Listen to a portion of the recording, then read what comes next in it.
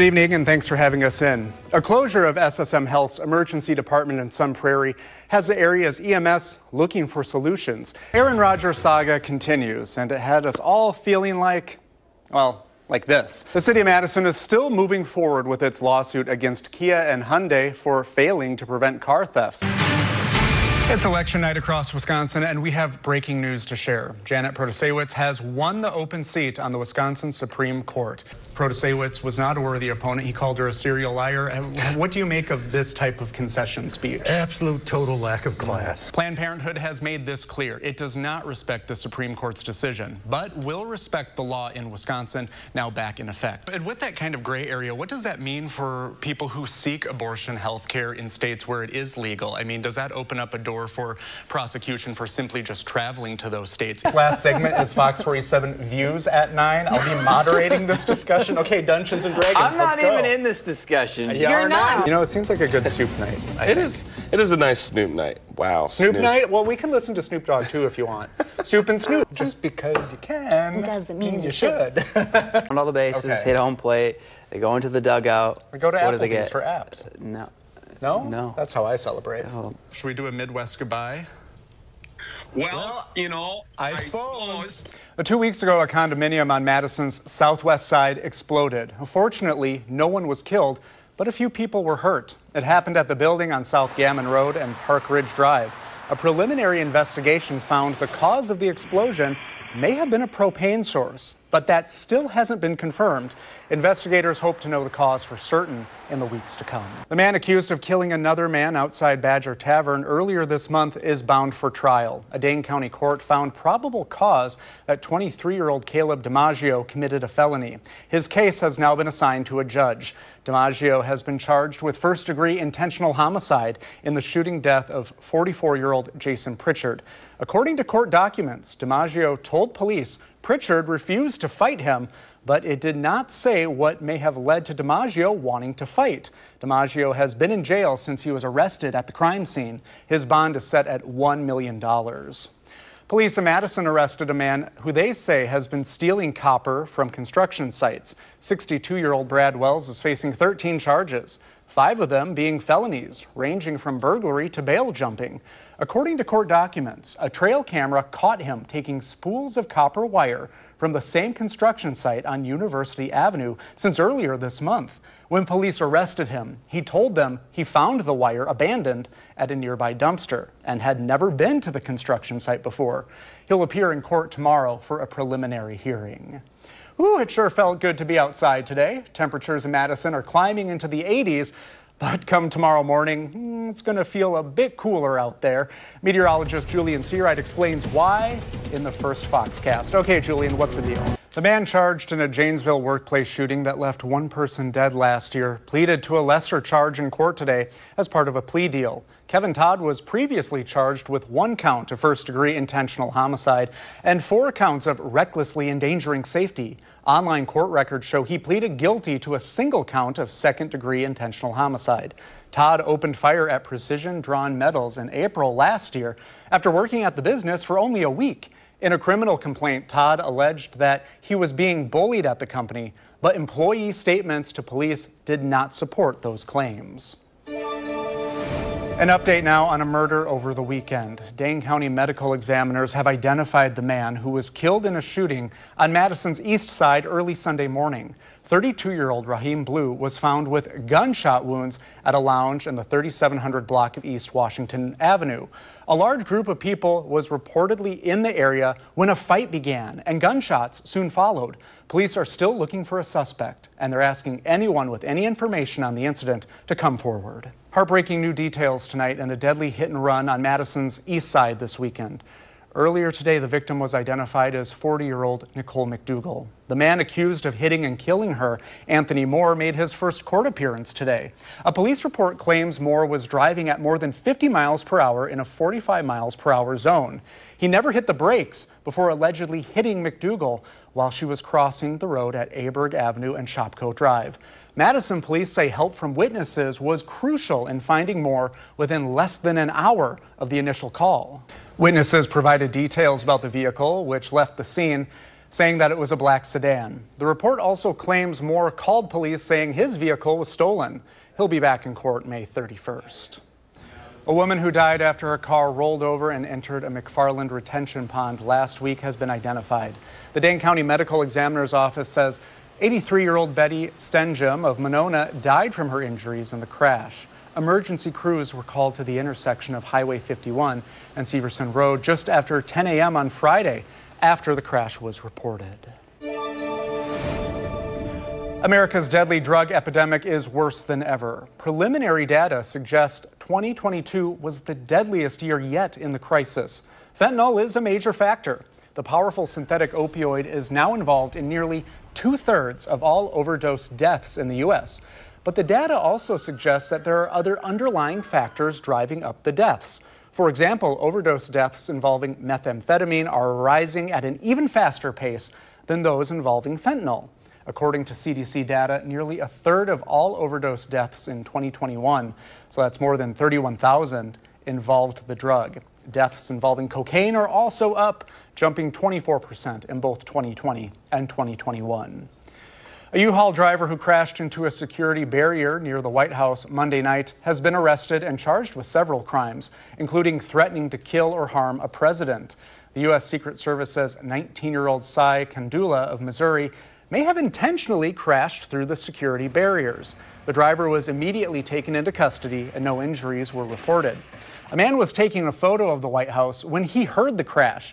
At first, he thought it was just an accident until the box truck backed up and then tried to ram the barriers again. He tried the first time and then went to the second time. And now it is right over there, right in front of the White House. Authorities didn't find any explosives or other devices on the truck, but they did find a Nazi flag. They haven't yet identified a motive. Coming up next on Fox 47 News at 9, America's largest water park has an all new attraction ahead of the summer season. Still ahead, a look at how next gen technology is transforming a water slide at Noah's Ark. Oh, geez, Louise, it's Charlie Berens. How are you? Oh, I'm doing just fine. How are you doing? Oh, you know, real good here. oh, you know, no, I don't. Tell me, you know, or no. We could go on and on with this. Yeah, there's a couple, two, three things we got to talk about here, you know. So you're going to be coming back here. How does it feel to come back to your alma mater? I'm it, honestly, it's just a it's a crazy honor uh, to to do that. You know, you look at all like the notable people that have graduated from UW, and uh, you're like, wow, I you know, I better not screw the pooch on this one. I'll tell you that right now. well, one thing I love about you is, I mean, you've really embraced uh, being from Wisconsin, being a Midwesterner. Um, you know, a lot of people try to escape their roots, but you've made a whole career out of it. What would your advice be to students who, as they enter the workforce, what would your your advice be to them about embracing who they are and not running away from who they are? Yeah, you know, I think it is uh, a lot of diving down and, finding out, you know, really just kind of what what lights you up, what what makes you you, and that could be uh, where you're from or whatever it is. For me, that's what it was. I love Wisconsin. I love comedy. That lit me up, and, and I I kind of just embraced it. And when I did, you know, everything happened from that point. Mm-hmm. And that was after spending a lot of years, like 10 years, you know, trying to be really something I wasn't. And, um, and you can find success doing something you're not passionate about, and you can find success doing something you're passionate about. So, you know, you might as well uh, do the thing you're passionate about, or at least give it a go, you know? Charlie, what kind of pearls of wisdom do you plan to share with the graduates? Oh, geez, Louise. you know, I, I wrote the speech. I'm feeling good about, but it, really, it's um, it's a lot about taking chances, you know. And I think when I first graduated, I was very concerned about what my peers thought about me, you know. And that was in an age when we weren't even posting as much stuff on social media, but we were starting to. And I think sort of a trap people can get in is that they um, they care so much about what people think and they want to post it and it, or, or show it. And so you're you're trying to be something you're not almost off the top. And i think nobody really cares what you're doing. So you might as well sort of do what you love and see where that takes you, you know, and not worry if you're not making a lot of money right off, out the gate. I certainly wasn't. I was doing odd jobs, weird things, and uh, I mean, weird things. I just mean weird jobs. Nothing too, nothing too weird, okay? But, you know, it's just it, life is fun. And uh, I think it's about finding that fun and, and finding your true self. And sometimes we can, we can lose lose our way, especially early on. Well, and while you're here, I believe you're signing your book, and it's all kind of a, a survival guide about being from the Midwest. Um, you're kind of an ambassador yeah. of the Midwest now. How do you feel about that title? well, look, I mean, truthfully, what uh, my comedy uh, is, is it, I'm not inventing this stuff. Uh, you know, like uh, when I say watch out for deer, I didn't invent that. You know, uh, uh, my grandpa used to say that to me, you know, and, and, we, I know what it means. It means I, I love you in a lot of ways, but, or like tell your folks I says hi. I didn't, you know, invent that. You know, that's just what I heard growing up. So it, I actually borrowed a lot from journalism, which I majored at UW for my comedy. Uh, and, and in journalism, you shine a light on something. And that's kind of, I think, what I've done with certain aspects of the Midwest. But if people like my stuff, they, they're really not liking it for me. They're liking it because they like where they came from. And that that is what I like about my comedy is that I don't see it as being really about me, but I see it as being about the Midwest, and I love the Midwest. So, Charlie, last question: What is the number one thing, if you can pick it, that you love about Wisconsin? Oh, jeez, you know, it's either the people or the walleyes, and I'm going to have to get back to you on that. Yeah. I, you know, I'm not going to make you choose. Yeah. You know, that's too, too hard. That's too hard. Well, we are being told to wrap up. Should we do a Midwest goodbye? Well, well you know, I, I suppose. it's about that time.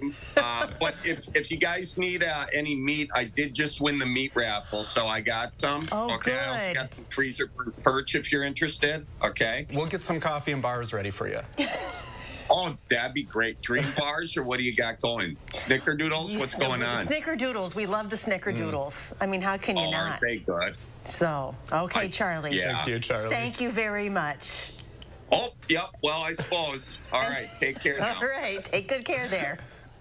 Bye-bye now. Okay, real good. Rising global temperatures could expose billions of people to dangerously hot conditions in the coming years. Scientists say the climate niche where humans flourish is between 55 and 81 degrees Fahrenheit. Outside that window, conditions tend to be too cold, too hot, or too dry.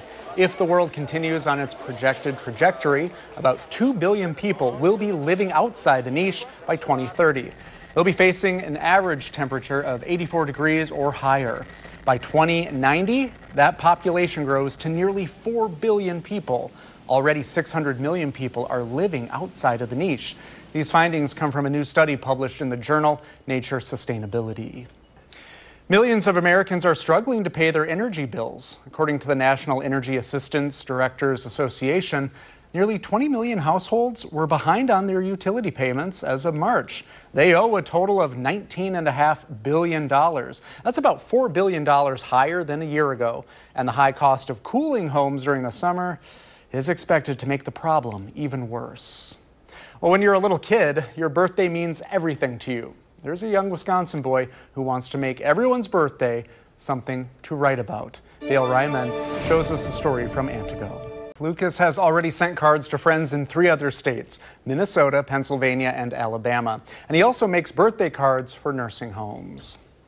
HBO Max is gone, girl, officially rebranding as Max as of today. The move comes as Warner Brothers Discovery combines HBO Max and Discovery Plus into a singular service called Max. If you subscribe to HBO Max, your apps should have automatically updated to the new Max app although some will be prompted to manually download it. Well, the news at 9 is officially known as 9 now. Netflix is starting to crack down on users who share passwords despite not living together. In a letter to subscribers today, the streaming service offers two alternatives. They can transfer a profile to a new member and pay for that person, or add an extra member for about $8 a month. Netflix says it allowed password sharing in the past to fuel growth. And that led to some 100 million households doing so. But now it wants to focus on its revenue, as opposed to its subscriber base.